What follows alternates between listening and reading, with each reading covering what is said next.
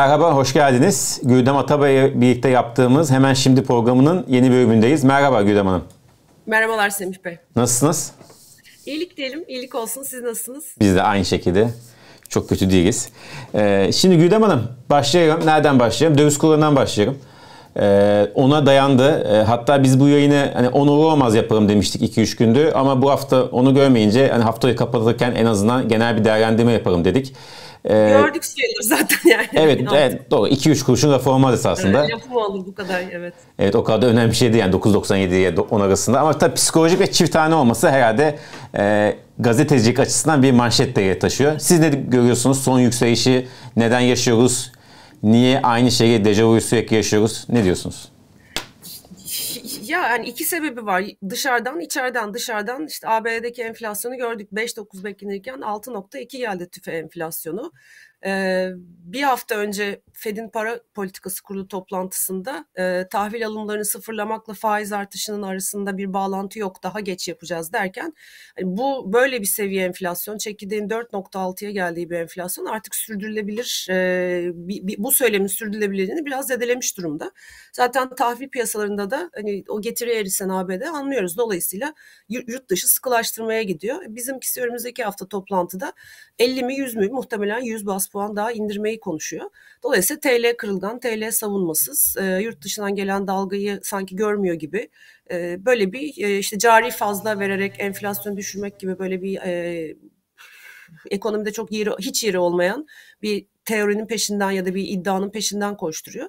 Dolayısıyla şaşırtıcı değil. Yani biz haftaya 100 baz puan indiğinde hakikaten o zaman o psikolojik sınır 10.00'ın geçildiğini göreceğiz zaten. Çok büyük ihtimalle e, oraya kalmadan belki onun üstünü görebiliriz zaten.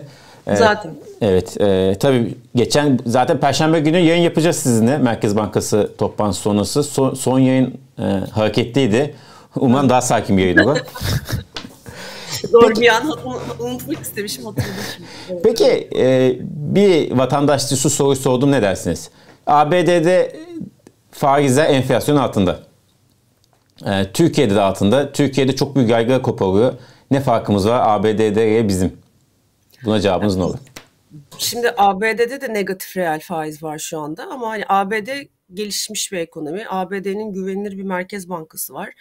ABD'nin para politikası e, deneysel bir para politikası değil. E, o tarafta faiz artışının gelmesi son derece rasyonel. İşte önden açıklamalı, neyi ne zaman nasıl yapacağı konusunda açıklamalı.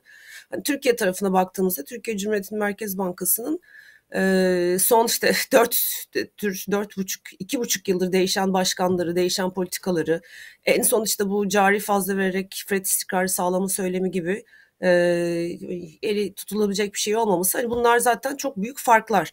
Şimdi bu tarafta yüksek bir enflasyon var. E, uzun süredir düşmeyen, yani dünyada gelişmiş ekonomileri bırakalım. Gelişmekte olan ekonomilerin yüzde üç buçuk dörtler ortalaması varken bundan 5-6 yıl önce Türkiye'nin yüzde 9-10 civarı yana oturmuş bir yüksek enflasyonu düşüremediği bir ortam.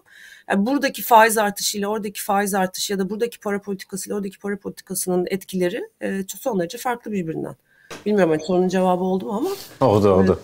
Hani elma ile armut gibi burası e, bambaşka bir diyar. Hani. Bambaşka bir diyar. Bambaşka bir ülke. Ee, Sadece harikalar diyarı. Para politikası açısından şu anda. Evet. Buradan beklenti anketiye devam edelim. TC, Merkez Bankası'nın açıkladığı beklenti anketi bugün açıkladı biraz önce. Ee, önce enflasyonla başlayalım. Ee, enflasyon dair beklentiler beklenildiği gibi yükselmiş. Ne diyorsunuz öncelikle buna? Buradan başlayalım. Ya aslında çok kötü bir döngüye girdik. Ben hani 95'ten beri bu piyasadayım. O yüksek dönemleri, 2001 kriz öncesi dönemleri hatırlatıyor bana. Enflasyon çıkıyor, herkes arkasından koşturuyor. Yani bu sadece beklenti anketi değil. İşte bugünlerde konuştuğumuz evet gerekli ama aslında işte asgari ücret e, ya da emekli maaşlarına beklenen düzeltme de enflasyonun peşinden gidiyor. Ne oluyor? Önümüzdeki ilk 3 ay, 5 ay, önümüzdeki yılın ilk yarısında muhtemelen o yapılan düzeltme de eriyecek. Şimdi beklenti anketi de benzer bir durum var. İşte bir e, 15 gün önce 9.22 beklenirken 9.98'e çıkmış durumda. E, çift taneye çıkmış durumda 12 ay sonrası beklenti. İşte hani onu yansıtıyor zaten. Arkasından koşuyor olanın gerçekleşenin. E, bu da kötü bir şey. Bu da neyi anlatıyor bize? Merkez Bankası'nın para politikası güvenilirlik yaratmıyor. Güvenilirlik yaratmadığı için de kimse onun açıkladığı enflasyon beklentisine ya da kur e, yönergesine doğru e, bir, yönelim yapmıyor. Yani inandırıcılığı yok Merkez Bankası'nın. Sürükleniyor Türkiye ekonomisi. İşte piyasaların beklentisi onun arkasından geliyor aslında. Evet.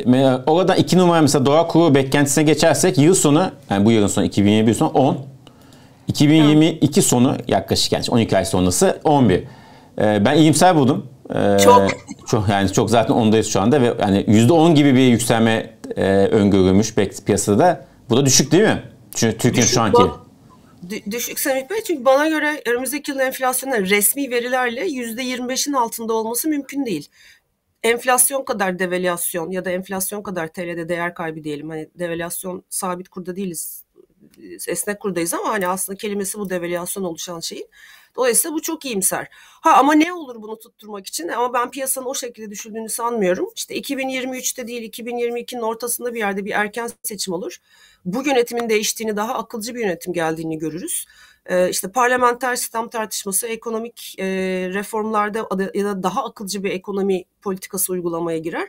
O zaman biz kurun hani ona doğru 11'de kaldığını değil aksine geri döndüğünü göreceğiz muhtemelen. Hani 7,5-8'ler civarında bir şey konuşacağız ama hani beklenti anketine yansıması için bunlar daha çok erken.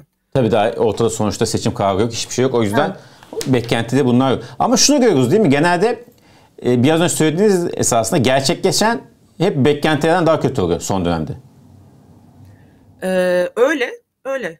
Yani evet. büyüme ve şey e, dolar ve enflasyonda. Ama mesela büyümeye gelelim şimdi 3 numara grafiğimize. Yine TCM ve beklenti anketinden. Burada e, işler çok kötü değil gözüküyor. En azından rakamsal olarak. evet, 9 8 9'dan 9.2'ye çekmiş. İşte Cumhurbaşkanımız açıklama yaptı. Hatta çift taneye ulaşabilir diye. Ee, hani bunun yansıdığını görüyoruz. Diğer taraftan zaten yani kimse gizlemiyor. Büyümenin artık e, hedeflenmesi için enflasyondan ödün verildiğini, yüksek enflasyon katlanarak büyümenin önemsendiğini bu zaten bilinen bir şey. Rakamlar ortada. Ama işte tartıştığımız şey bu büyüme ne kadar e, herkese yarıyor, refah arttırıyor. Hani bu büyümeyi elde ettik. Evet ihracatın katkısı var buna. E, ama işte bir önceki çeyrekte yine hatırlatalım konuşmuştuk sizinle de. E, sermaye kesiminin gayri safi milli hasılanın aldığı pay artarken maaşla çalışanlar emek kesiminin aldığı pay düşüyor. Bu da refahın genel anlamda Türkiye için düştüğünü anlatıyor evet hani yine rekor kıracağız muhtemelen işte Çin'den sonra. Ama hani neye yarıyor? Yüzde 25 enflasyona gittikten sonra resmi rakamlarla. Gerçekten yüzde 50'ler civarında olduğunu zaten biliyoruz.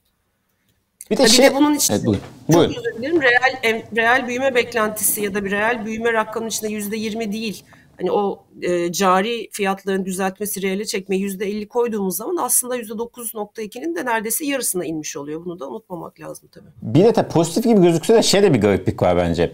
Ee, şimdi 2021 yılı büyüme beklentisine bakıyorum. Bir anda çok yükseliyor. Esasında bu da bir garip. Yani bu kadar çünkü beklentin bu kadar yani dalgalanması da esasında çok iyi bir şey değil. Sonuçta bir çok ciddi bir politika değişikliğine işaret ediyor aynı zamanda. Ya onu da şöyle ben yorumluyorum. Şimdi mesela 2022 için büyüme beklentileri 3,5-4'ler civarında. Şimdi bu hiçbir şey yapılmazsa zaten nüfusla işte normal bir krizsiz bir yılda 3 3 3,5 civarı büyüyebiliyor. Bunun biraz üstünde büyüme beklentisi var. Hatırlarsak 2021'in başında da büyüme beklentileri bu civardaydı. Evet baz etkisiyle artacaktı ama evet, şunu görüyoruz demek ki sene içinde sürekli potansiyel büyümeyi e, arttıramadıkları için büyüme zorlanarak işte 8'lere 9'lara çekiliyor. O zaman da zaten motor yanmaya başlıyor. İşte bunu biz e, enflasyon tarafında görüyoruz. Hani cari denge ödemeler dengesi içinde normalde büyümede cari açın artması beklenir. Bu sene özel bir sene. Biraz pandemi etkisi var. Ama hani bu işler normalleştiğinde e, böyle bir büyüme yılında cari fazla ya dönmek e, çok kolay olmayacak. Yani orada yapısal altyapısında bir değişme yok aslında. O noktada dengesi. o zaman yine yayına girmeden hemen önce programımızın ismi gibi hemen şimdi e, Lütfü açıklamana değinelim. O, e, o da bu konuda esasında e, bu konu altını çizdi e, ama sizin gibi çizmedi tabii ki.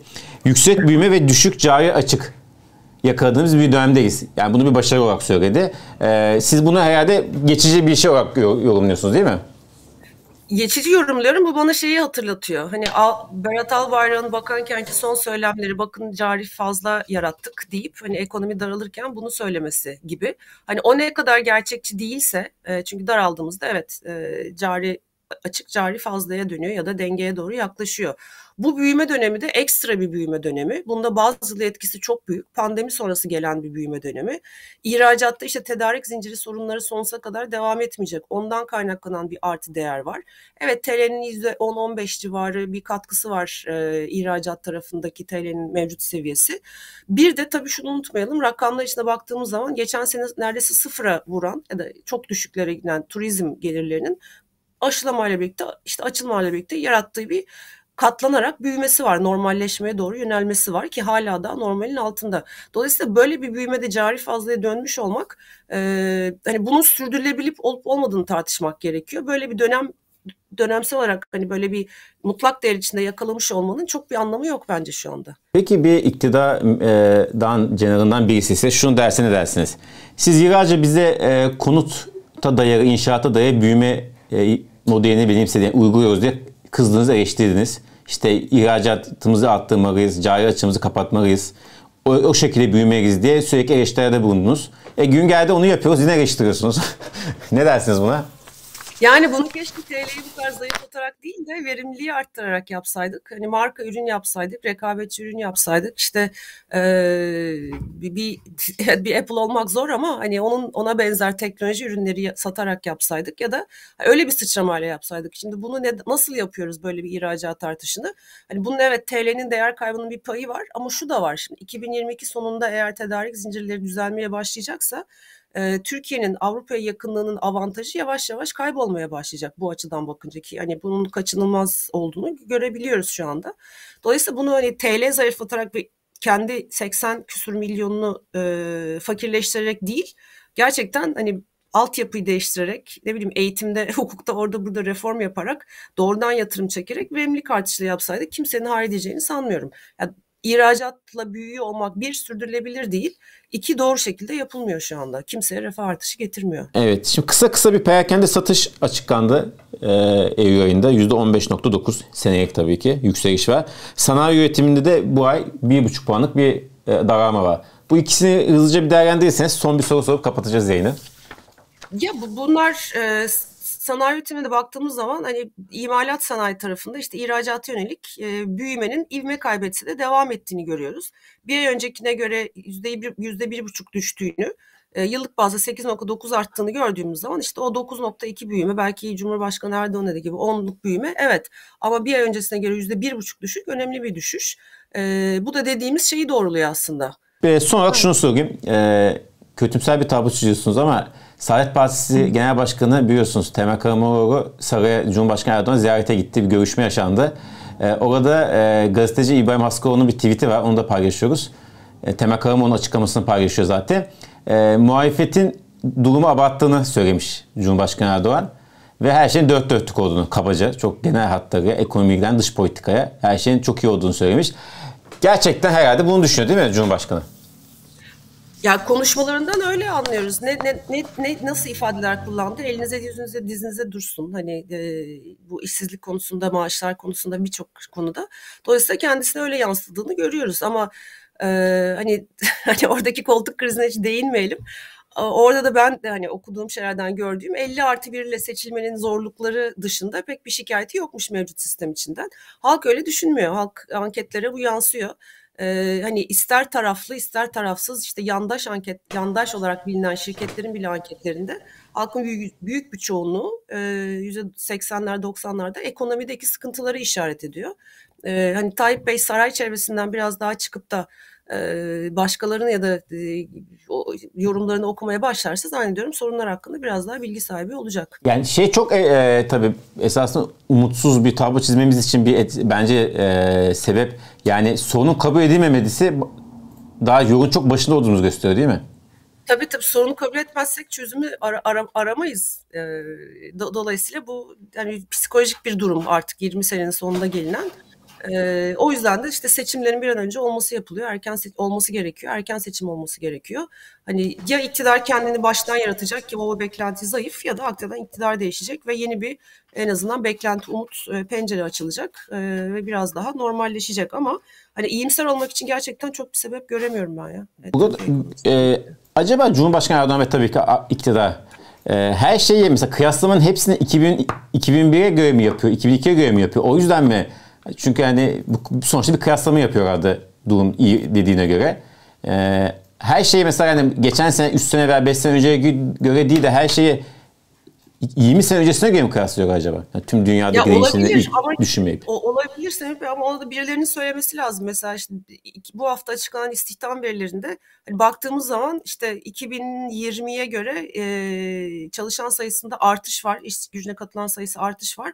Hani 2019'a göre baktığımızda aslında pandeminin oraya dönmediğini görüyoruz. Yani zaten ekonomistlerin işi bu hangi dönemde neyi nasıl karşılaştırılacağını anlatmak. Hani ben de o zaman 1950 ile karşılaştırayım. Hani Türkiye ekonomisinin hani bir sürü şey. Müthiş o müthiş. Yani o, o biraz çarpıtma yani öyle bakıyorsa da. İstediği gibi gösterme. Evet. Kendi kendini kandırıyor. Yani kendi kendini kandırmak da bu hayatta insanı bir yere getirmiyor ya. Yani. Emin, emin misiniz? emin misiniz? emin değilim. Çünkü kendisi evet. Cumhurbaşkanı ama önümüzde seçim var. Hani e, gerçekten 2018'den beri zorlu bir süreç içinde Türkiye ekonomisi o e, işte Ağustos kur krizinden beri. Onun yarattığı yükler var. Artan hane halkının borç yükü var. E, işte gelir dağılımında bozulma var. Hane halkının alım gücünün düşmesi var. Ortaya çıkan enflasyon sonucunda. Yani bütün bunlardan bir haber bir gibi gözüküp 2001 ile karşılaştırmak çok talihsiz olsa gerek.